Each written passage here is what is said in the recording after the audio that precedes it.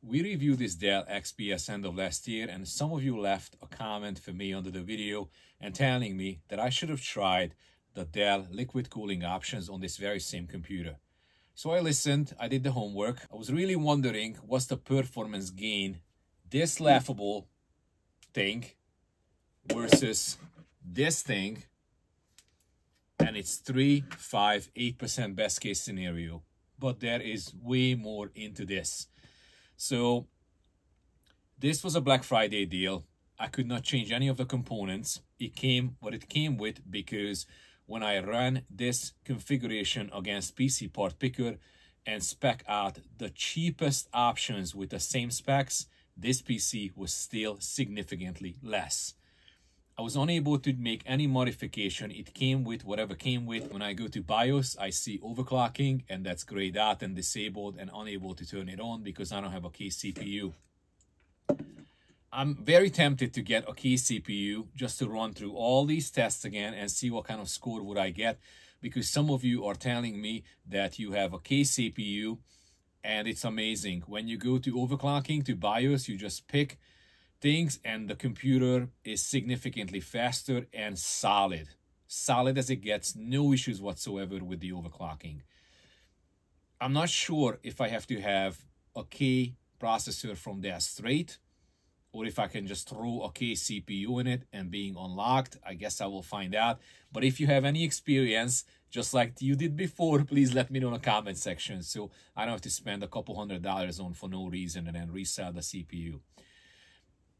This liquid cooling system was not an option because my PC came with this thing, which is a desktop cooler from a Dell Business Class Office desktop. It's an i5 13 Gen, not this, but the newer version of this, exactly the same, has this thing in it.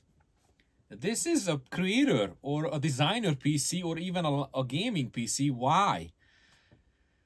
And that's why, because the performance between the two is 3 5 or maybe 8% best case scenario, but that's not all. There are a lot of other things we have to factor in. So let's get through that. One of them is noise.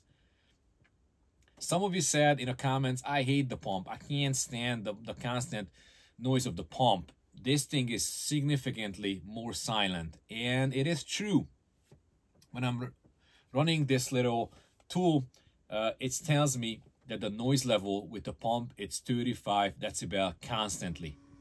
But that's a good thing because it's a CPU usage is 1% is 35. It's a CPU usage 100% is still uh, 35 in my case. If I put this PC away from the sound meter, away from right above the pump, I don't hear it.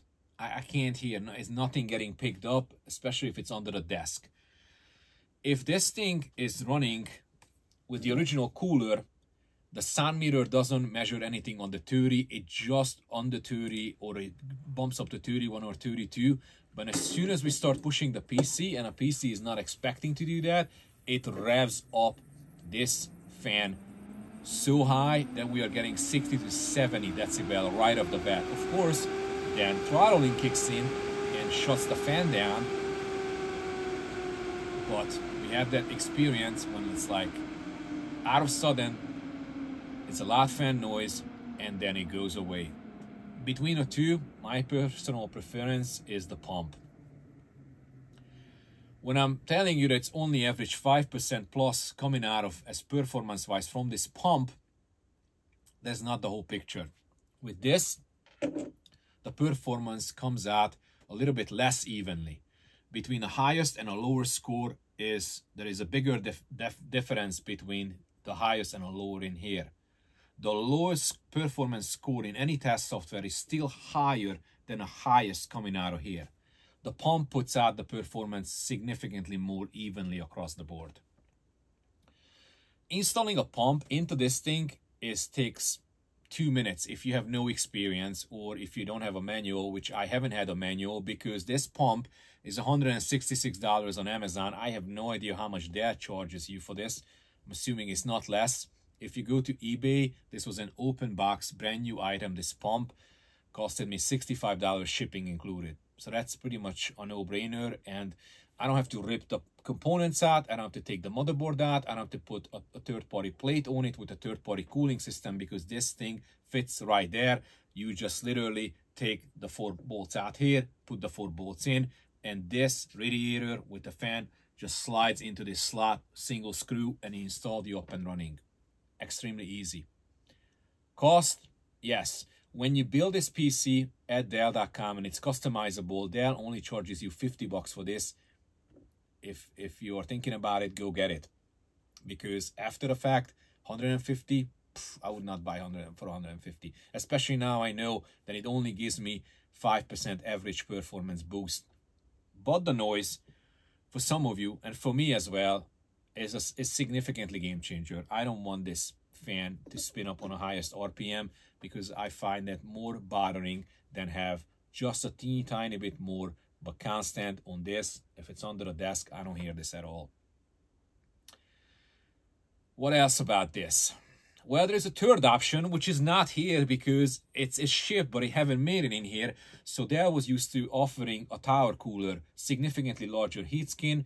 Uh, the fan is sandwiched between the two part and have copper heat pipes in it, I think six of them. So that is coming. If you go to Amazon, that will cost you about 60 $70.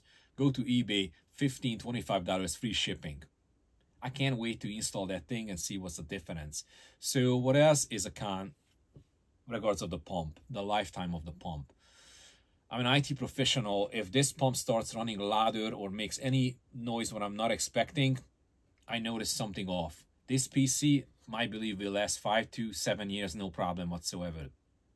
XPS hitting the shop after 10 years from somebody who has started just having issues for the first time with the PC. It can last 10 years. Will this pump last 10 years? Some of them has a six year warranty on it? Maybe, probably not. At one point, you will need to replace a pump. If you're not technical, you probably not will pick up that the pump is actually dying or have some issues, or people just like will think it's gonna go away or will re it resolve itself, or I don't even know what's the noise coming out of the PC. I'm how bad can it be? Since it's liquid, and there's gonna be some crazy, crazy expensive stuff attached to this PC. Any kind of short. Uh, problem with the PC, with the liquid and the circuit board or anything like that could be devastating. I can't let that happen. I will have to put this fan back in because whatever this PC is going back, uh, I don't think the owner will be able to, to figure out if there's anything wrong with the pump. For me personally, I would keep the pump. Also, the case CPU some of you had a case CPU i don't. I am really really want to buy a case cpu the same exact thing just the unlocked version throw it in here and see what's the difference in that scenario. Also some of you are telling me that when you go to to the dell bios and unlock the overclocking with your case cpu the system is solid as it gets. No glitches no artifacts nothing whatsoever no blue screen and a performance gain is great what you're getting to be honest, I expect at least 10% out of this. So better be a good, uh, large difference between those numbers if I if I spend a couple hundred dollars on that CPU. Obviously, I will resell, so there's going to be no loss in here, but I'm really, really want to see that. Yeah, thank you so much for every single comment you left under these videos. Uh, it educates me. It helped me. It, it helps me to think differently. Um, I'm doing the same business class PCs, some residential service in a past two decades and it's it's an eye-opening experience for me to have all these different options and opinions and they, they all legit maybe if we put the k cpu in this maybe this pc would be lasting at somebody for two years longer than the non-kp uh, k cpu so we'll give it a shot. Hopefully i can make that happen. I'm really wonder what's that tower which should be right here cooler will perform I'm running these back to back, these tests for, for almost 10 hours a day, and it's not enough. It's just only me. This is not multiple people testing the same thing over and over. I only have one PC. Uh, one thing I learned if I have 50 computers in the same room, brand new, same model, same exact spec, there's going to be maybe one or two which going to be run visually faster than the other two or slower is, is just what it is. Like even when they are in the same specs regards of manufacturing, assembling, there still could be performance difference. If I'm running these tests back to back, there is difference between them. That's why I have to run them so many times.